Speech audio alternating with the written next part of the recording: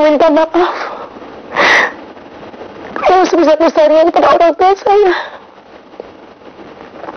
Pada kakak saya, adik-adik saya.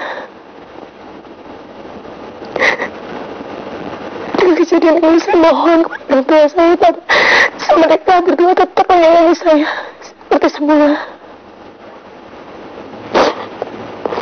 Terang keluarga saya sangat terpukul dan mereka juga sekarang uh, merasa malu tinggal di Sidoarjo dan mereka mungkin mau pindah dari rumah Sidoarjo Sampai mau pindah? karena beliau berdua merasa sangat terganggu karena terus-terusan dikejar-kejar pers gitu katanya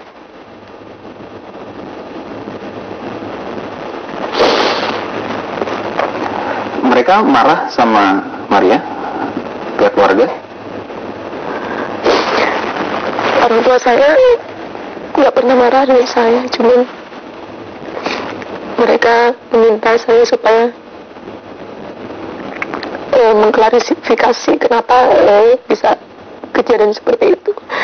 Tapi mereka tahu berdua mereka semua keluarga saya tahu bahwa ini adalah cobaan yang harus kita terima yang harus kita lalui.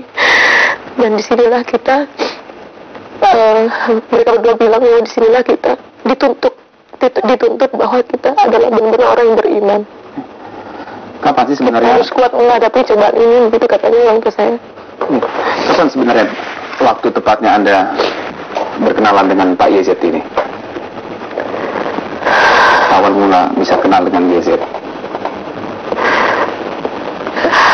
saya lupa sekitar mungkin tahun 2001 ketika saya aktif di AMPI dan di beberapa kampanye Golkar 2001 lalu adegan rekaman pribadi itu tahun? Saya nggak ingat pasti rekaman itu kapan karena waktu itu kita berdua sering sekali eh, membuat foto-foto dan membuat rekaman. Oke, begitu. Lalu eh, bagaimana perasaan apa ketika bahwa YZ sampai sekarang masih terus melakukan komunikasi dengan Maria YZ setelah beredar luas rekaman pribadi Anda? hampir tidak pernah melakukan komunikasi sama sekali sejak tahun 2005 2005 tidak awal kontak? awal Awal tidak sampai setelah beredar luas rekaman ini masih ada komunikasi via SMS mungkin atau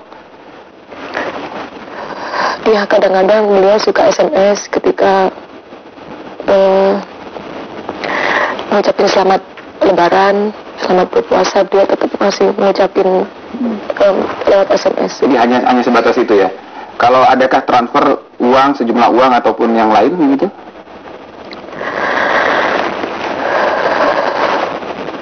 Ya saya akui memang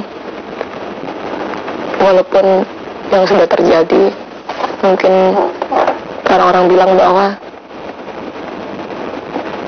Bapak WZ meninggalin saya begitu saja itu konotasi orang diambil dan digolkar tapi sebenarnya Bapak WZ ini benar-benar sangat perhatian sama saya dan setiap bulan bahkan eh, ketika saya merasa mera- mera- ketika saya merasa beliau merasa perlu bahwa saya untuk dikirim atau ditransfer sejumlah uang saya tidak perlu minta beliau sudah transfer sendiri Oke, ketika Anda menjalin hubungan dengan YZ, eh, Anda sudah mengetahui bahwa YZ mempunyai istri. Sering mendapat teror dari istri YZ? Sering sekali. Berupa apa bisa teror itu?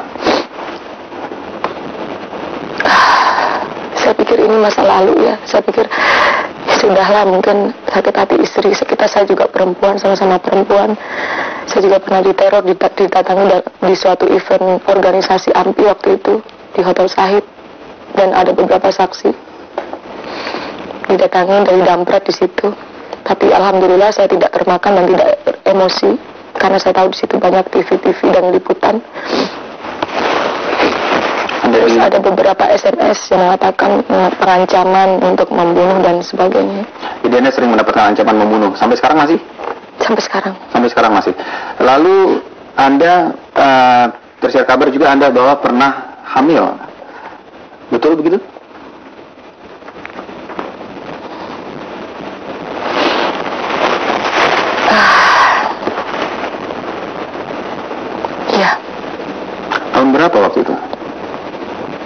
Tahun 2004 akhir. 2004 akhir. Lalu waktu 2004 akhir itu ada menguburkan atau melahirkan? Sesuai kesepakatan kami berdua juga Bapak WZ sepakat dengan istrinya. Akhirnya kami menggugurkan karena saya tahu juga Bapak WZ mempunyai keluarga dan anak, mempunyai karir. Jadi saya berharap saya, ya, saya bukan menjadi korban tapi saya dengan sukarela saya memenuhi permintaan Pak Yahya dan istrinya untuk menggugurkan kandungan. Mengenai status Anda dengan YZ ini menarik. Anda sempat hamil dan Anda, anda menggugurkan. Waktu itu status Anda itu hanya sekedar berpacaran kah atau Anda pernah dinikahkan siri atau bawa tangan? Hmm, belum pernah. Belum pernah. Belum pernah. Tapi ajakan menikah? Waktu itu saya sering diajak menikah, tapi saya nggak pernah mau. Alasannya? Alasannya saya nggak mau jadi istri kedua. Kalau pertama mau. Oke. Selalu selanjutnya Maria apa yang akan Maria lakukan setelah adanya peristiwa yang cukup Saya minta maaf. Yang pertama adalah kepada orang tua, keluarga.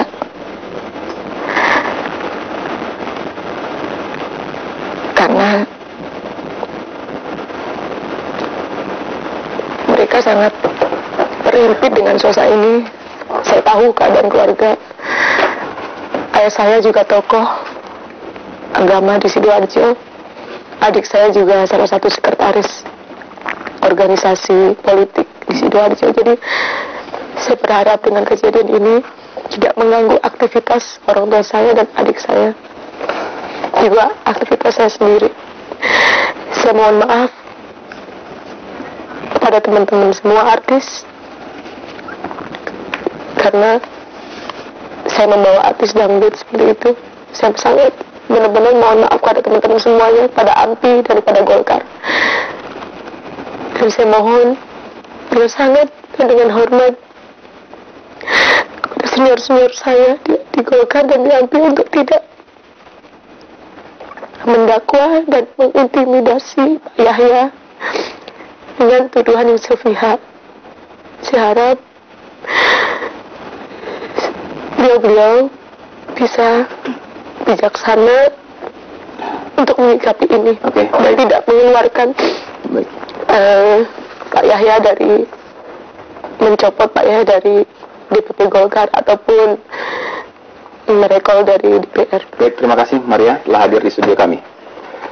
Dan saudara jangan beranjak dulu tempat Anda karena kami akan kembali dengan informasi di Kudus, Jawa Tengah ada ayam jago yang berjalan tegak. Reportasenya sesaat lagi.